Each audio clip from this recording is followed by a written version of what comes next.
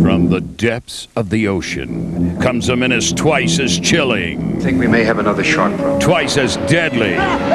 And if the original Jaws scared you half to death, then just wait until you've seen Jaws 2. You started a panic on a public beach. I'm telling you and I'm telling everybody at this table that that's a shark. Another nightmare for Roy Scheider.